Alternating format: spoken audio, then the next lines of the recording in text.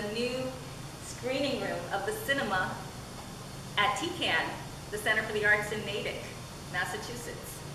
And it's a beautiful room. I'm sitting in this really nice, comfortable chair, just waiting for something to appear on the screen. Uh, I'm Yeah. David Lavalley. I'm talking to you today about our new performance space, which we've just added to our second floor of our facility. Before we head upstairs, we're in a firehouse building that was built back in 1875. A fabulous space that we bought and renovated back in 2003. We never really did anything with the second floor since we ran out of money. So this is really the renovation that makes that space suitable for programs for the very first time since we bought the building. So would you like to come upstairs? I'd love to. I'm going to check out this entryway. Looks like there's an elevator here, so it's accessible. Yeah, this elevator was built as part of the very first phase of the renovation of the building. is actually located in the hose drying tower of the firehouse. Oh my goodness, wow, that's cool. Okay, so we're leaving the entryway. Wow, so this is the new performance space. Oh nice, there's lights. Wow, look at that ceiling. Beautiful flooring. We installed a new floor, which has a nice rustic wooden look that, that really helps to highlight the natural brick walls and the natural wood trusses that are overhead.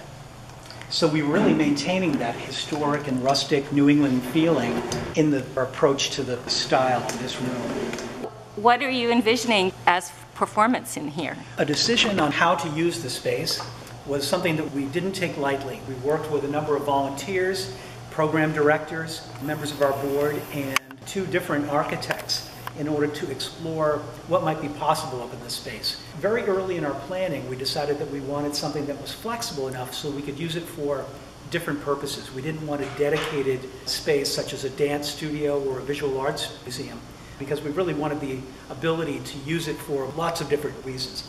One of the things we'll be using this space for is as a function room because it's such a beautiful space with a high ceiling that we know people will enjoy having parties and functions in this room. You're expecting people might lease out the room? Yes. So the second use for the room really takes advantage of the wonderful acoustics in the room. So if you, if you listen to sound in this room, it's a very lively room with a lot of good reflective bounces. And so we thought that because of the aesthetics of the room, as well as the acoustics, that it would be a better setting for our classical music series. So starting in December, we're going to be relocating our classical music concerts for the Young Masters series that really feature rising stars in classical music in this room. And it's slightly smaller seating capacity, but I think the, the flattering acoustics combined with the wonderful aesthetics are going to make for a really great classical music, chamber music experience up here.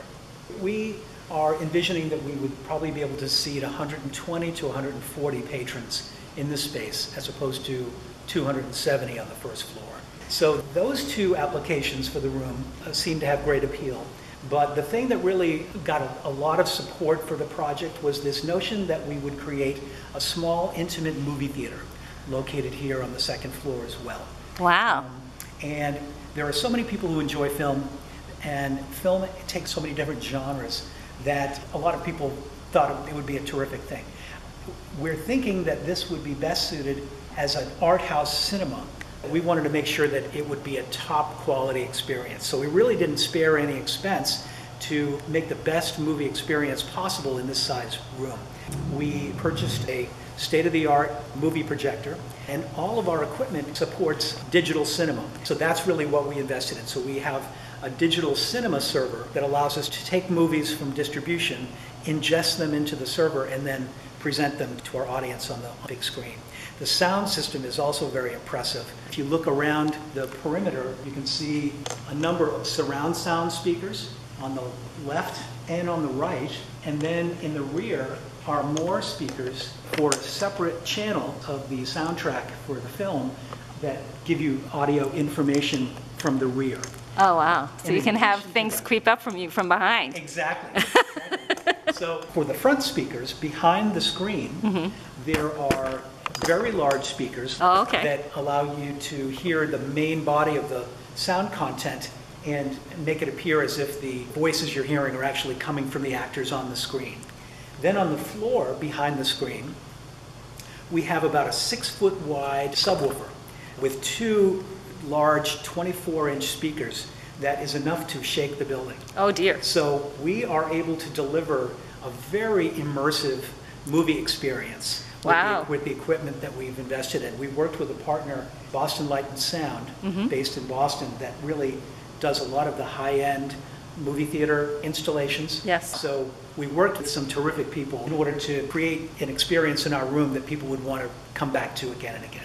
And so when you have the performances here, there's a PA system for those performances. We envision that the acoustic performances that are classical, and usually are things like a string quartet or a solo piano, wouldn't require sound reinforcement of any Oh, kind. absolutely, Um, right. Our plan now is not really to do performances that require sound Amplification. amplification. That might change over time, Mm-hmm. because one of the things perhaps we might consider is moving our open mic up to this Mm, wonderful space as well. To begin with, we'll be pretty much presenting acoustic performances only up here. It's a beautiful space. Thank you. Against the wall, you can see 120 folding chairs that will become the seating for the theater. And these are the best chairs that we could find. Chairs have cup holders. The seats fold back with a spring-loaded mechanism. They're extremely comfortable, but we can fold them up and store them for when we have functions in the room. If you were to be screening a film, all of these seats would be set up in the room. Yes, we invested in 120 seats, mm-hmm. which we think will be about the maximum capacity, but we've been very conservative as far as the sight lines. We wanted every seat to be a good one. Mm-hmm. So on the sides, even though we might have physical room for more seats, we're beginning with seats positioned at an angle to the corners of the screen that provide a, a good uh, Sight line. Sightline. We're probably going to stagger the seats so that you're not looking into the head of the person in front of you. But because we only have six rows, even the seat in the rear row still gets a very good look at the screen or at the performer. Everything is programmable, and so we can store lighting scenes in programs that can then be triggered by a playlist. And then when the projectionist hits a button, the lights will come down, the curtain will open, the trailers begin, and they all happen on an automated sequence. It's really impressive how far this technology has come. I also want to point out this enclosure that was built above the entryway, which houses the digital projector that we use. That's an air-conditioned chamber that will maintain a constant cooling temperature for this projector and its amazingly hot bulb.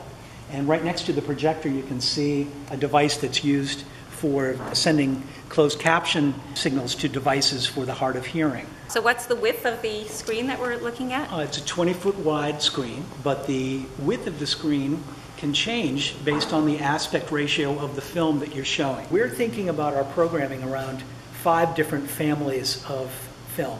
And so those would include classic films. A number of people would like to see traditional art house cinema type fare, which includes documentaries and independent films.